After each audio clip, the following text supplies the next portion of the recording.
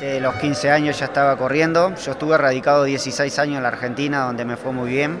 Yo tuve la suerte de ganar 1500 carreras en la Argentina y los grandes premios Carlos Pellegrini dos veces, 2006, 2007.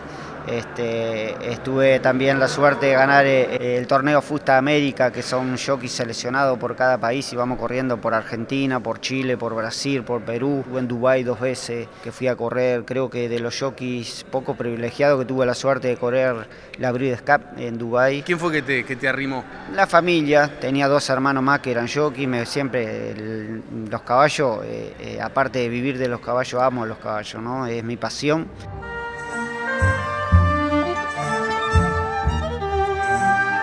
¿Cuánto tiene que pesar un jockey para poder correr? Ese es un tema complicado. El jockey peso ideal sería 52 kilos. Yo peso un poco más que eso, pero...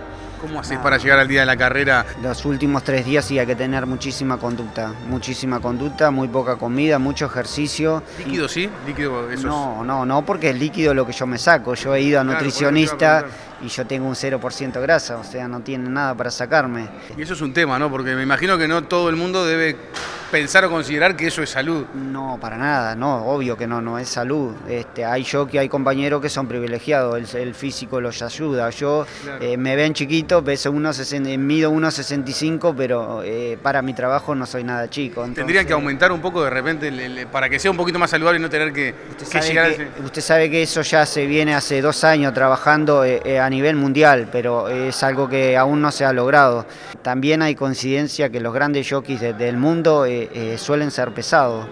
por una cabeza de un noble potrillo que justo en la raya afloja al llegar y que al regresar parece decir no olvides hermano